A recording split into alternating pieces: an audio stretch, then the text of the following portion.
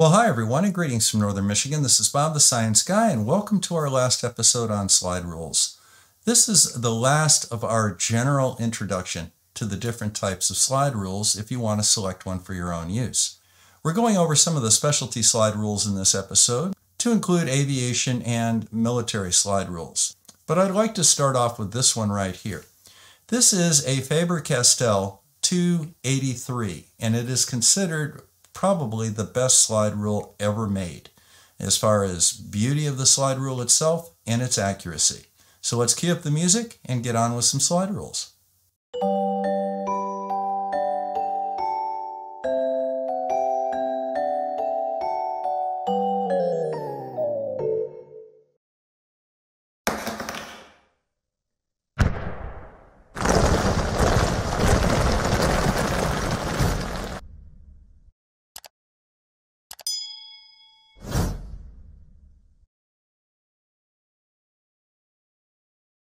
Now the 283 has a lot of the standard scales that we've seen on the engineering rules. It's got the A and the B scale. It's got a couple of folded scales. It of course has a C and a D scale and a CI scale. Now the trigonometric scales are a little bit different. We have the S and the ST scale, which is the sine and the small angle scale. The T scale, or tangent scale, is split into two different sections. And we have an additional scale down here called a P scale or a Pythagorean scale. Now, the reason that we use the p-scale, and it's a very handy feature to have, now say if we take an angle on the S scale of 10 degrees. Now, in order to find the sine of 10 degrees, all we would do is read up to the C scale, and there it is. It's 0.173.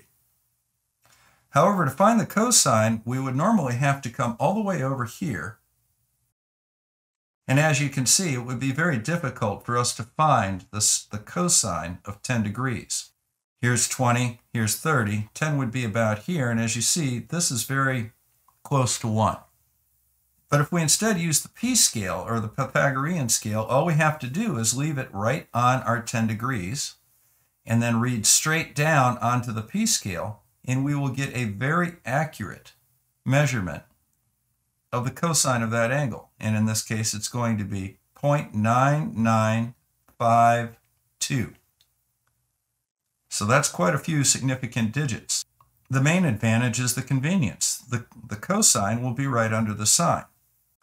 Now, another very interesting thing that you'll see on some of these more advanced scales is that you have marks on the cursor. I don't know if you can see these very well, but there's some marks. For example, here's a D mark. Now, as you recall, the area of a circle is pi times the radius squared.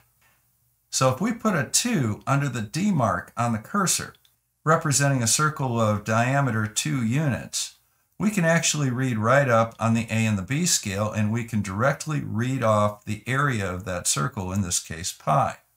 Now, if we bring this out a little further, say to 6, here the radius would be 3, and once again, we read up to the A scale or the B scale, and we read off the area of that circle. And in this case, it's going to be 28.3. We can also read off direct conversions from kilowatts to horsepower as well. Now we also have a unique set of scales on the 283, and that's these W scales. We have W1, W1 prime, we have W2, and W2 prime. Now the purpose of this is very much like those cube root scales that we saw on the Pickett slide rule. This is a split scale. And when you use this particular scale, you turn this 10 inch slide rule into the accuracy of a 20 inch slide rule. Let me show you. Let's take the circumference of the earth and find the radius of the earth from that. Now the circumference of the earth is 24,901 miles. Here's the 2, here's the 2.5. This is 2, 4, and this is 2, 4, 9. So that very accurately lets us mark that. Now what we can do is divide this in half. So we'll put the 2 directly over the 24901. Now by marking it here, we can then go to pi and we'll do that on the W2 prime scale, which is directly above it, right up here. then all we have to do is move our cursor to the index, which is 1. And what do we get? 3,900 and just over 60 miles. Now this is an excellent time to talk about the accuracy of slide rules and how it's a function of the size of the slide rule. Now, for convenience, we use pocket slide rules such as this. They're generally either 5 or 6 inches long.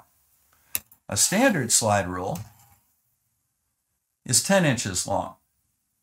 Now for greater accuracy, we can use a 20 inch slide rule, and this one's marked up pretty much as an engineering rule as well. Interestingly enough, it has a P-scale on it just like the Faber-Castell as well. You see these on European slide rules and both the Aristo Studio and the Faber-Castell are German slide rules.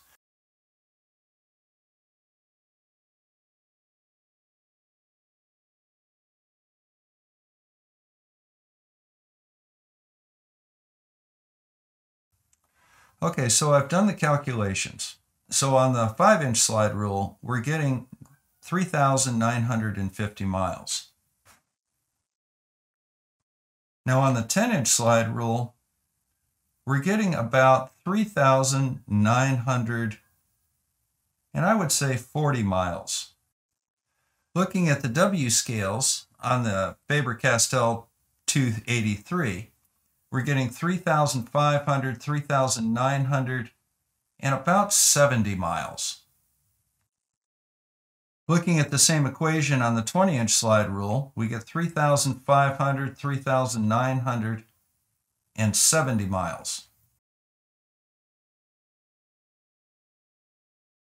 And looking at it on the Fuller calculator, we get 3,964 miles. Now let's compare this to a modern calculator. Now, in the modern calculator, we take 24,901 miles, we divide it by 2, and then we divide that by 3.14159, which is pi. And we get 3,963 miles. The Fuller calculator was one mile off. Let's go over a couple of specialty slide rules. In aviation, we have something called an E6B flight computer. Now let's do a couple of calculations with the E6B flight computer. Right here, you'll notice that there is a large arrow here at the top that represents 60 minutes. If I put my fuel burn in for my aircraft is nine and a half gallons per hour, how long can I fly? Well, the fuel capacity of my aircraft is 48 gallons, and if you look down at about the 8 o'clock position, you're going to see 50, and right next to it, by coincidence, there's an arrow at about 48 gallons. So if you read straight underneath that arrow, you'll see that I have about five and a quarter hours worth of fuel on board if I take off with my tanks full. Now, obviously, I can't fly five and a quarter hours and land on empty. Now, under aviation requirements, I have to have enough fuel on board to not only reach my destination, but reach an alternative airport in case my destination airport is unavailable, and land with either 30 or 60 minutes of fuel remaining. That allows me to calculate how long I can fly. So let's say that my duration of flight is going to be four hours. Now, how far will I go in that four hours? Well, the speed of my aircraft is 145 knots. There I have my one hour arrow at 145 knots. It's a simple matter to go over to 9 o'clock and see how far I can fly. And again, I can read out the distance on the outer ring and see that I can make just over 600 miles. But am I going to make 145 knots over the ground? Well, if there's zero wind, yeah, sure. But what if there's some wind? Okay, so this is the back side of the E6B flight computer. Okay, so here's the technique that we use to figure out what our ground speed will be by taking into account the winds aloft because as we're flying through the air, we're not only flying through the air, we're going with the wind. So what we'll do is we'll put the dot right in the center at 100 knots. And then what we're going to do is we're going to determine what direction the wind is coming from, say 290 degrees. Then we need to put in the wind speed. Say the wind is whipping along at about 20 knots. Now what we do is we rotate this ring to our direction of flight. Okay, we're in the home stretch now.